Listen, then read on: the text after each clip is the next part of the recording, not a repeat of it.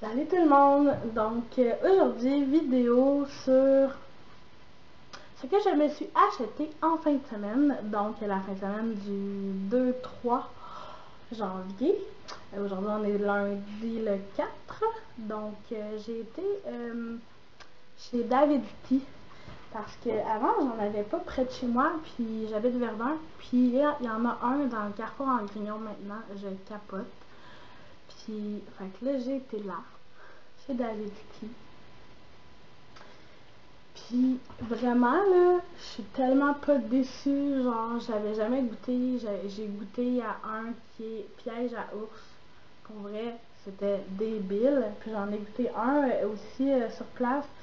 Euh, je m'étais pris un. Ben, le gars avec qui je fréquente, Mathieu, il s'était pris une limonade euh, électrique, ça s'appelle, si je me trompe pas du nom. Froide. My God, c'était vraiment bon, là. Puis j'en avais pris un, je sais pas si c'était piège à ours ou un autre. Puis euh, j'avais vraiment aimé le piège à ours. Puis là, je m'en ai racheté d'autres. Je m'en ai racheté euh, quelques-uns. Donc, piège à ours. Et voilà. Comme ça ici. Puis euh, vraiment, je triple, ça sent bon, là, vraiment. Désolée. J'en ai, échappé un. Euh, il y en a un que j'ai goûté hier, si je ne me trompe, oui, c'est ça hier. C'était fraise colada. Pour de vrai, my god, ils sont tellement bons, là, je capote. Puis là, aujourd'hui, je suis en train d'en boire un en ce moment. Euh, c'est le rouge tango. Lui aussi, il sent tellement bon, là. My God, je capote. Dans le fond, il vous donne une petite cuillère. Puis c'est une petite cuillère euh, qu'il faut vous acheter. Puis c'est la quantité idéale pour euh, une tasse. Ce que j'ai pas essayé encore, c'est coco glacé. Le sucette fruité et le pêche parfait. Dans le fond, vous voyez qu'il y a un petit 40%, là, c'est parce que dans le fond, c'est des petits sacs déjà faits. Euh, donc, euh, chaque sac, je les ai payés seulement 3$. C'est pour ça que j'en ai plusieurs. Puis, je me suis acheté aussi une petite boule pour... Euh, excusez, moi j'avais comme un poil.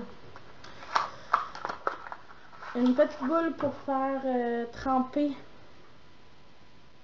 le tout dans, euh, vous l'ouvrez comme ça. Là, vous mettez ici, vous le refermez.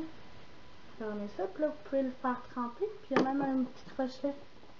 Vous le faites tremper dans votre tasse, fait que ça soit une petite ou une grande tasse, mais au moins il y a une, chaîne. Fait que c'est bon pour euh, n'importe quelle tasse. Ça aussi, c'était à 40%, c'était seulement 3$. Donc vraiment, pour tout ce que j'ai acheté, ça m'a coûté avec les taxes 26$. C'est une vraie aubaine. Je me suis acheté la cuillère aussi. Euh, qui est comme une cuillère à thé, mais c'est un petit peu plus parce qu'ils disent une cuillère à thé et un quart. Donc les autres, c'est vraiment la mesure parfaite. Puis, à date, je tripe tellement là-dessus. Genre, ceux qui connaissent pas ça puis qui savent pas c'est quoi, allez-y, genre, essayez-le tout de suite, là, courez, essayez ça, vraiment, c'est des thés, genre, moi, vraiment, j'ai rien à dire. Puis, vous allez tomber en amour avec, vous allez juste vouloir boire de ce thé-là après. Euh, et aussi, je me suis acheté 5 euh, nouveaux vernis, ben 4 avec une qui est une base euh, spéciale que je vais vous parler tout de suite. Celui-là, il est dans le fond, il était tout 5$, euh, à part euh, celui à brillant qui était 50%, donc euh, je l'ai payé environ 6$. Donc, c'est ça que je vous parlais. C'est une base, dans le fond, c'est blanc. Moi, je me demandais pourquoi ça ferait ça. Mais je me l'ai mis en dessous d'un des, couleurs que je vais vous présenter tantôt. Puis, ce que ça fait, c'est une, couche de base protectrice, mais aussi qui fait que pour les couleurs flash, néon ou les couleurs qu'on veut qu'ils soient plus pétantes, ben ça fait revenir la couleur plus pétante, plus flash. Donc là, c'est sûr que sur une couleur foncée comme ça, on ne voit pas tant. Mais pour vrai, on dirait que le mauve est quand même, il ressort beaucoup, un petit peu plus. Puis il y avait quand même, il y a pas mal de brillant dedans aussi. À date, je l'ai utilisé une fois, je peux pas rien dire, là, puis je me l'ai mis hier, donc euh, je peux pas trop vous dire si ça a plus tenu ou pas.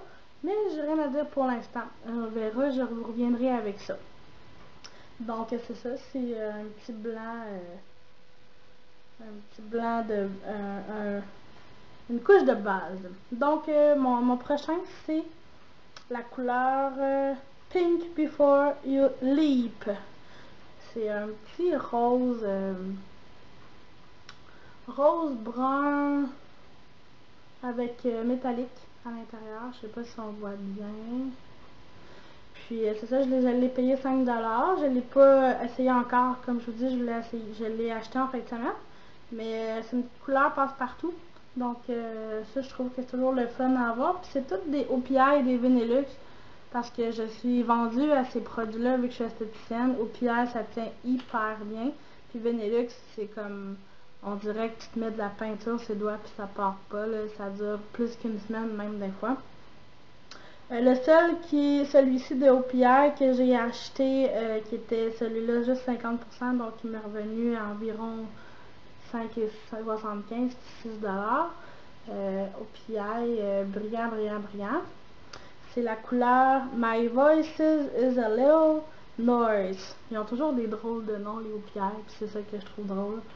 C'est euh, leur nom. Mais c'est des super belles couleurs qui tiennent bien. Quand il y a des brillants, en passant, petit truc comme ça, quand il y a des brillants à l'intérieur, comme lui aussi, euh, comparativement à une couleur mat qui n'a vraiment pas de, brillance, pas, euh, pas de brillant à l'intérieur, ça fait que le vernis tient plus longtemps quand il y a un petit peu de brillant à l'intérieur. C'est comme si ça faisait une couche avec plein de petites roches qui se retenaient ensemble. Donc ça fait durer le vernis plus longtemps. Une couleur mat souvent va s'écailler plus vite parce que justement il n'y a pas la petite brillance ou le petit métallique à l'intérieur pour aider à tenir le vernis.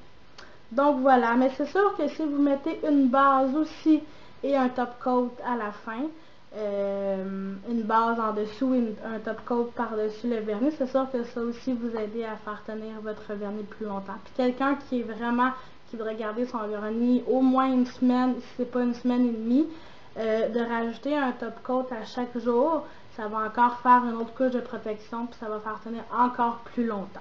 Donc voilà, un petit truc en passant. Euh, donc, le prochain Vinilux, c'est celui que j'ai sur mes doigts. Euh, c'est Nordic Light, la couleur. C'est euh, un genre de mauve très, très, très métallique. Donc, il fait très festif. Il fait très... il est très beau, vraiment. Là, je l'ai sur mes ongles, moi. Puis, je l'ai depuis hier. Puis, j'ai été déneiger ma voiture, j'ai fait plein de trucs, la vaisselle, tout ça. Puis tout est en place, on dirait que je viens de me la faire. Et puis, le dernier et non le moindre, c'est la couleur Lost Labyrinth. C'est un Venelux, celui-là aussi. Euh, c'est comme un bleu, comment je pourrais dire, euh, métallique. Puis, euh, c'est ça. Donc, super beau bleu. J'ai très hâte de l'utiliser, de voir ce qu'il fait. Donc voilà ce que je me suis acheté en fin de semaine. J'ai très hâte d'utiliser les autres thés et d'essayer euh, mes, euh, mes autres vernis pour voir euh, comment ils sont, s'ils tiennent bien, tout ça. Je vous en reviendrai là-dessus si j'y pense, mais oui, je vais y penser bien sûr. Donc voilà, j'espère que vous avez aimé. Mettez un pouce si vous avez aimé et on se revoit dans une prochaine vidéo.